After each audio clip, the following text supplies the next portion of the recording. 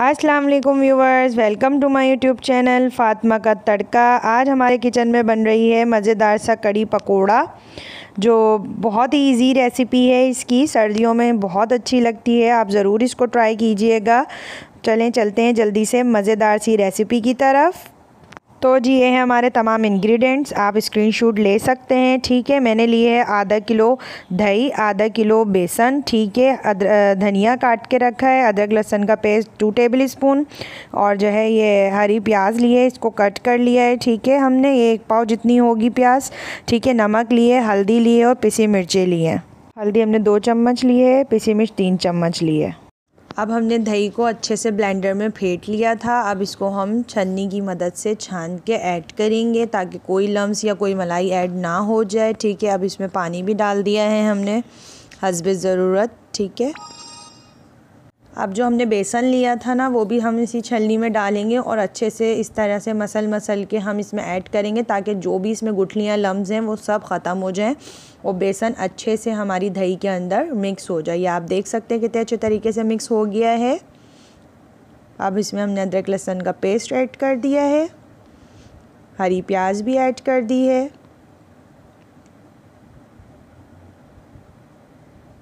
साथ साथ तमाम मसाले जो हमने लिए थे, हल्दी, पिसी मिर्च और नमक, ठीक है? ये सब चीज़ें आप हसब ज़रूरत ले सकते हैं क्योंकि हर घर में जो है मिर्चों वगैरह कम खाई जाती हैं या ज़्यादा खाई जाती हैं। अब हम इसमें कड़ी लीव्स भी ऐड कर देंगे और धनिया जो लिया था वो भी ऐड कर दिया है। इसको ढककर पकाने के लिए छोड़ देंगे। ये आप देख सकते हैं कि कड़ी में बॉयल आ गया था, ठीक है? अब हम इसके अंदर पानी ऐड करेंगे रिक्वायरमेंट के हिसाब से। आपने जितनी गाड़ी रखनी है, उस हिसाब से रखना है आपको। आपने जितनी ज़्यादा रखनी है, उस हिसाब से रखना है आपको। अगर आपको हल्दी या मिर्चें कुछ भी कम लगे तो आप इसमें ऐड कर लीजिएगा अपनी ज़रूरत के मुताबिक, ठीक है? मैंने इसमें पानी डाल दिया, अब इसको मज़ीद पकने के लिए छोड़ दूँगी मैं। आप देख सकते हैं कड़ी कितनी गाढ़ी हो गई है और अब पकने के बाद ये कितनी सी रह गई है। इतना ही पकाना है इसको जितनी कड़ी पकती है उतनी अच्छी लगती है। अब हम करते हैं पकोड़ों की तैयारी तो पकोड़ों के लिए मैंने बेसन ले लिया था। अब इसके अंदर मैं ऐड करूँगी हरी प्याज कुटी मिर्चें ज़ीरा और नमक ठीक है, ये पकोड़ों की प्रिपरेशन भी आप अपने तरीके से कर लीजिएगा, जितना आपने बेसन लेना है, जितने पकोड़े ऐड करने हैं, इस हिसाब से। धनिया, पुदीना और हरी मिर्चें भी कट करके, वो भी ऐड कर दी थी अब पानी ऐड करके बैटर बना लेंगे, जैसे पकौड़ा का बनता है। देख सकते हैं बैटर रेडी हो गया इतना ही थिक रखना है हमने भी। अब बनाते हैं पकौड़े। जी, मैंने एक पैन में ऑयल गर्म करने के लिए रख दिया था। अब ये बैटर हमने, आप हाथ की मदद से भी डाल सकते हैं, जिनको स्पून से बनाना होता है, वो स्पून से भी बना सकते हैं।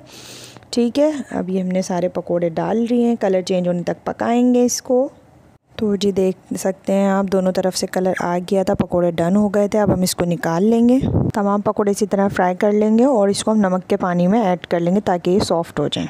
तो जी पकोड़े हमने पानी में से निकाल लिए थे, कड़ी भी हमारी डन थी, हमने सारे पकोड़े कड़ी में ऐड कर देने। ठीक है, अब हमने धनिया और हरी मिर्चें साबित ऐड कर देनी है कड़ी के ऊपर। ठीक है नेक्स्ट मैंने क्या किया था? पहले से ही ऑयल मैंने गरम करने रख दिया था तड़के के लिए।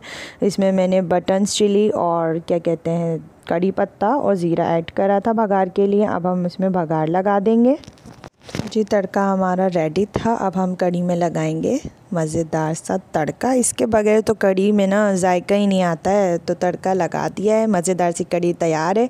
अगर आपको रेसिपी अच्छी लगी हो तो वीडियो को लाइक कर दीजिएगा, चैनल पर नए तो सब्सक्राइब कर दीजिएगा। फिर मुलाकात होगी नई मज़ेदार सी रेसिपीज़ के साथ। जब तक के लिए अल्लाह हाफिज़।